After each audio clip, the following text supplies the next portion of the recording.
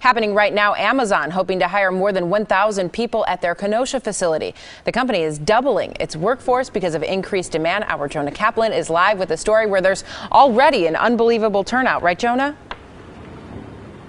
Bridget, we're here at the Kenosha County Job Center. The massive turnout we got here. Take a look behind me. You can see the line snakes around here. It goes all the way back behind the building, and then it's almost like a ride at, Star- at uh, Six Flags or Disney World. You think you get to the next room, you're almost there, and then there's a whole nother snaking line that goes six or seven rows. Amazon offering a thousand jobs. Interviews taking place here. You could even get an offer today.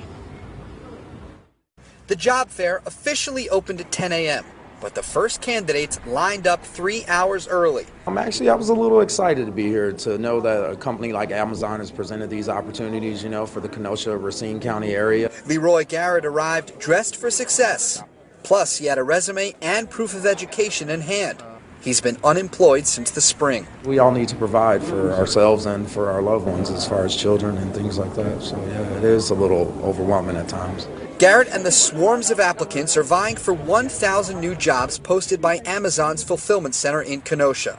The facility only opened in June, and more than 1,000 people already work there. It was a surprise that they needed as many people as as they said they needed it so quickly. So it's a good sign that they're you know increased their the number of employees at businesses must be very good for them. We know Amazon now has at least one new employee, Leroy Garrett who got the offer today. You, I mean, how do you feel? I'm excited, man. I'm I'm over. I'm actually overly excited because I know that uh, this has been a good opportunity for me, and I think I got it.